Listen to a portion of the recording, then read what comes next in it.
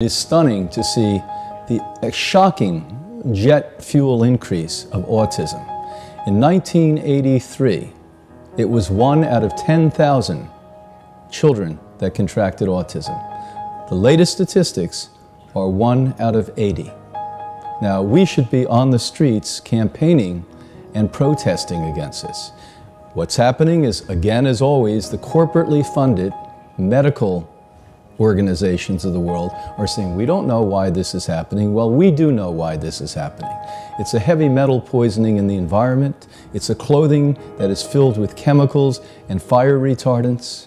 It's the 2,000 brand new chemicals every year that nobody researches, nobody tests, that they pour back into the environment, mixing with the tens of thousands of others, which actually multiply into hundreds of thousands of different chemicals.